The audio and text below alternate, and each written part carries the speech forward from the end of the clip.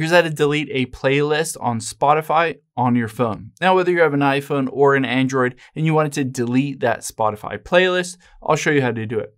So let's open up the Spotify app. Of course, if you don't already have it, just go to the App Store or Google Play Store and download and install it.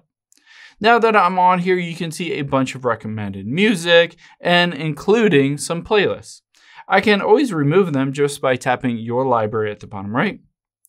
And then you can see, oh, let's get out of here. It will look kind of like this. You can tap on playlist at the top left here just to filter for your playlist. Now on here, there are a couple different options you have. If you wanted to remove a specific playlist that you created, let's choose this My Playlist number six.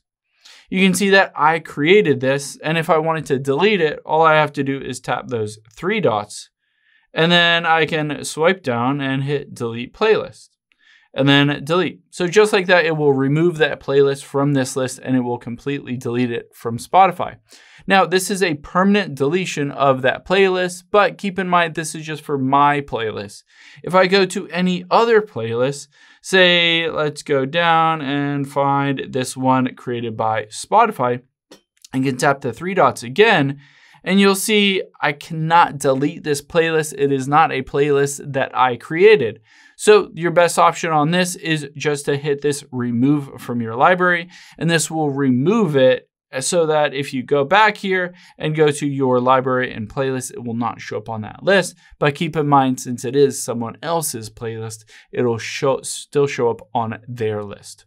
Hope this helps. If you have any questions on that, leave them in the comments down below, and I'll catch you on the next one.